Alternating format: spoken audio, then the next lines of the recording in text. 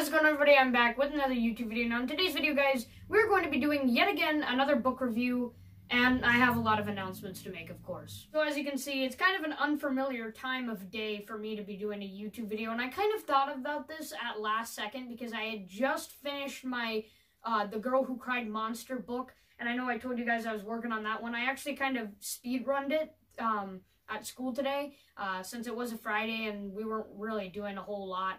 I figured I'd get this book review out of the way before I do the one day at Horrorland because, um, I mean, I just finished it today, so it'll be a lot easier to remember and stuff like that. And of course, I'm doing this video at the nighttime because it was a last second decision. So of course, you're gonna see me in the Home Alone uh, pajamas. Uh, I I wear them uh, whenever I really can. Whenever um, I wash them, I'll wear something else. But and then you're seeing the rare occasion where I'm actually wearing my hoodie over my head. I figured I'd do that so you guys feel nice and warm and comfy during this video uh, because it is of course going to be the nighttime and I know some of you are probably some night owls out there you're going to see this video uh, when it first comes up um, and uh, maybe I'll stream tonight as well um, and if I do stream, it'll be during when this video is probably up. This stream will probably be going. Uh, so go ahead and hop on that. Um, and as you can see, I'm also wearing my Annus lanyard in support as well. Still have not gotten a shirt, so we're still waiting for that. Uh, so you guys can get to see that. And my last announcement, I'm very sorry that I did not get the Ghost Debunk out yesterday. Um, I, I did put up a community post. It didn't look like any of you seen it. Um, and I, I need some requests for the ghost debunk if you're going to do that. I scrolled through some videos and I was actually about to make the ghost debunk and one of this these cool YouTubers that I was really excited to debunk deleted his channel. So it, it's going to be really, really hard. So I need some requests, guys. Um, but fortunately, though, be, even though I didn't get the video out yesterday, my friends have set up a Discord sorter, uh, server for me, uh, and it's got lots of channels to look at and stuff like that, different stuff we'll talk about. Um, so go ahead and hop on that. From now on, in every video, I will putting be putting the link to the Discord server in the description. So make sure you check that. Um, we just started it yesterday, so we would like to see it. Uh, some of my fans from my YouTube channel come on rather than just everybody from my school. With all that being said, let's talk about Goosebumps book number eight, which is The Girl Who Cried Monster. All right, so I do have, of course, the original copy. They did make a 2003 reprint copy, but they never, I at least I don't think so, they never made a 2008 reprint copy. So this is the only copy I have. This is much like my other review. Um, and now let's pretty much get talking about this book. I, I do want to I do want to mention, in contrast, the episode compared to the book, just to get it right off the way. I never really liked the episode to begin with, so I had to come in very optimistic when talking or when reading the book.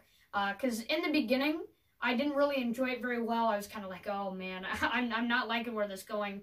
But then it starts to get better, and I'll talk about that later. But in contrast to the episode, it, it um the, the book is just superior in a lot of ways. I felt that the the episode was just very opaque very dull, very bland, and I feel like there could have been more uh, added to it. Uh, but you know, sometimes it has to do with the runtime of the episode, obviously. Uh, but the book, it just had much more to offer. Um, every time the girl came into the library, it was almost like nobody else was there. There was not a not a lot of other characters in in the conflict. Um, in fact, the character that they bring in, Aaron, in this book came in a little bit earlier than they introduced him in the episode. I think he showed up a few times in the last few scenes, and they didn't do much with him. But I really, really like what they did uh, in the book here. So the the book is just superior in so many ways, and I don't want to talk too much about the episode because obviously this is a book review, not about the episode. But I just wanted to give you a contrast about that.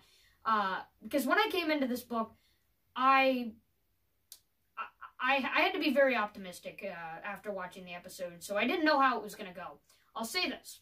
At the beginning, it's a very slow start. It's much like Let's Get Invisible. It starts out slow, and then it gets a lot, lot better towards kind of the climax, the turning point of the book. Now, this book does what I hate Goosebumps books do a lot, is where they have a character, the main character, and they throughout the entire book, it's just the parents or the uh, brothers and sisters not believing in them. And at least, I will say this, at least in this book, they actually gave a pretty good reason why they wouldn't uh, believe her. Uh, so unlike other books where they're just they they just dumb reasons why they don't believe her, she always loved t- telling uh, monsters uh, stories. Lucy, the main character, she just loved uh, telling monster stories and scaring her brother all the time. So of course her bar- or her parents are not going to buy into her crap throughout this entire book until the end when you find out the twist. So at least they didn't screw you over completely. That was one of my pet peeves about this book. Other than that, really good book. It had a slow start, had that little pet peeve, but then it got a lot better once it had that turning point. I really, really liked how the main character was kind of very, very curious about um, what Mr. Morton was doing throughout the book. I thought it was really cool. You know, I I, I shouldn't really um, encourage stalking. What just dropped? Oh my god, guys. It's a ghost. Anyways, you know, I shouldn't encourage um, uh, stalking or whatever, but I really liked what the, you know what they did uh, with the main character and Mr. Morton. Uh, Mortman throughout the book. I really, really liked how she would stay in overnight just to watch him form into this monster and eat the flies and stuff like that. And then when he finally finds out that he's been stalking her all this time, he acts very, very strange around her and obviously tries to hide it from his parents when he comes over to the house um, and uh, um, all that kind of stuff.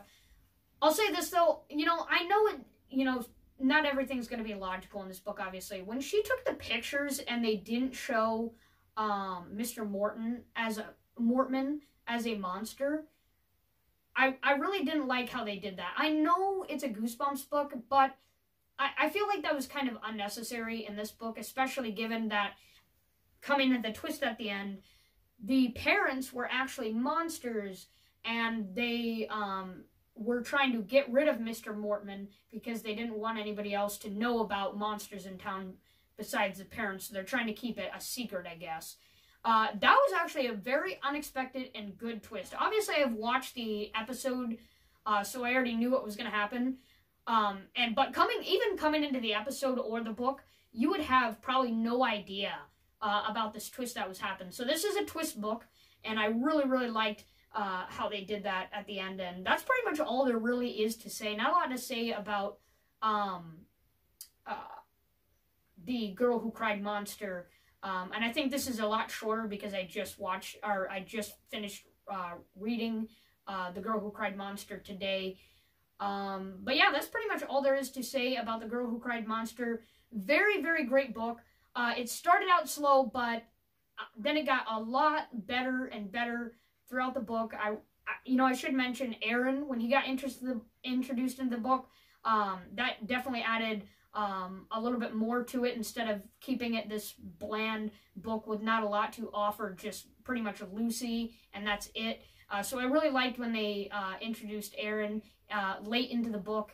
Uh, it added a little bit more uh, to offer rather than just being a bland book and stuff like that. That's one more thing to uh, mention because, like I said, they did not do that with the episode. I mean, they I think they did a little bit with uh, Aaron at the end. It was uh, it was that um, yeah, I, I, can't remember exactly what he looked like um, in the episode, but they they didn't really show much for him. But I'm happy they uh, did a lot with the girl who cried monster.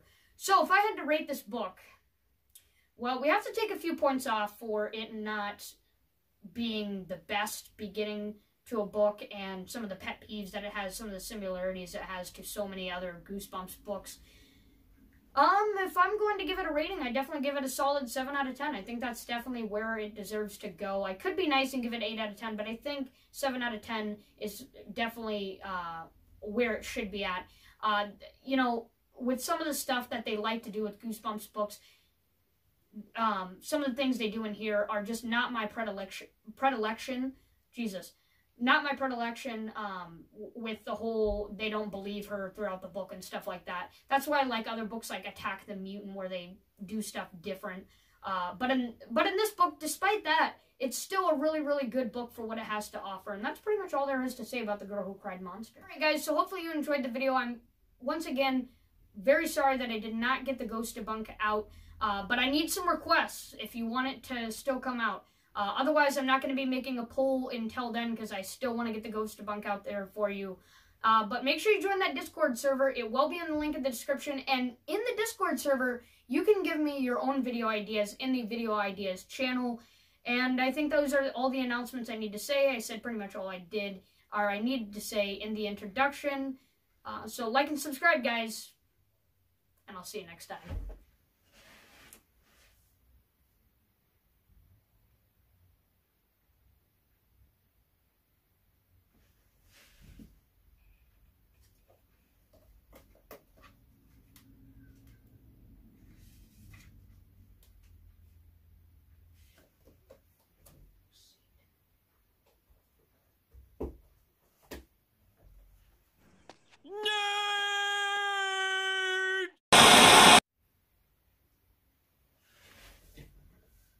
Alright, so hopefully you guys enjoyed this kind of different feeling of a video. Um...